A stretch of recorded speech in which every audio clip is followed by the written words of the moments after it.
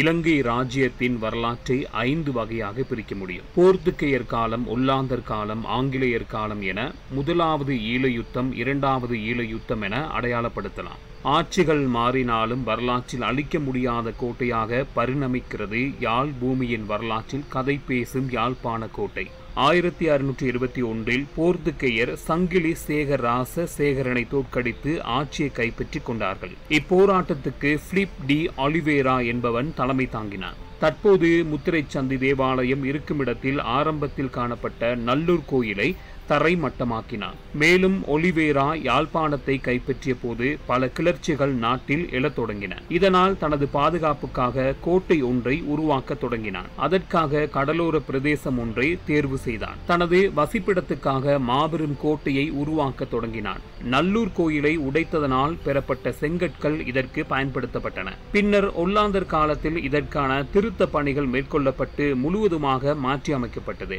இன்றளவில் நானூறு வருட பழமையான வரலாற்றை கொண்ட இலங்கையின் முதல் கோட்டை எனவும் யாழ்ப்பாண கோட்டையை அடையாளப்படுத்தப்படுகிறது.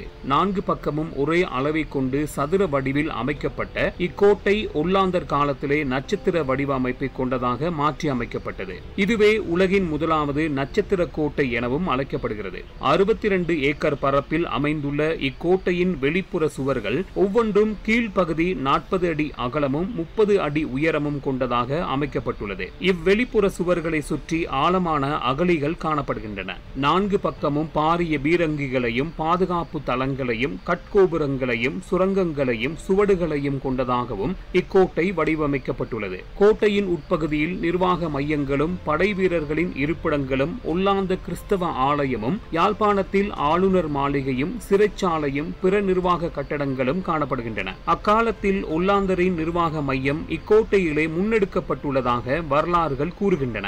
ஆயிரத்தி தொள்ளாயிரத்தி எழுபத்தி மூன்றாம் ஆண்டு இலங்கையில் ஏற்பட்ட கலவரத்தின் போது அதன் தலைவர் கைது செய்யப்பட்டு இங்கே பாதுகாப்பாக வைக்கப்பட்டிருந்ததாகவும் கூறப்படுகிறது.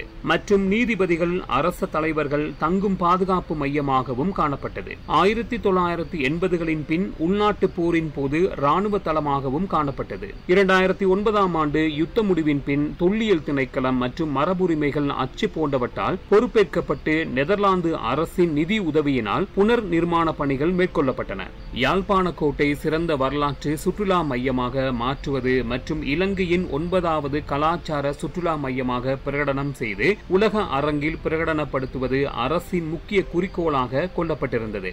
இந்த வகையில் இம்மையத்தின் புனர் நிர்மாணத்திலே யாழ் பல்கலைக்கழகம் மற்றும் தேசிய மரபு உரிமை நிறுவனம் உள்ளிட்ட பலதரப்பட்ட அமைப்புகளும் அயராது உழைத்து வருகின்றமையானது. இரண்டாயிரத்தி பதினெட்டாம் ஆண்டளவிலே இக்கோட்டையை இலங்கையின் மரபு உரிமை எடுத்துக்காட்டுவது உருவாக்குவதற்கான ஒரு செயற்திட்டமாகும். அந்த வகையில் யாழ்ப்பாண கோட்டை புத்துணர்ச்சி பெற்றால் வரலாற்றில் அழிக்க முடியாத நானூறு ஆண்டுகளை தாண்டிய உலகின் முதலாவது நட்சத்திர கோட்டையாக அமையும் என்பது மட்டும் மறுக்க முடியாத உண்மை.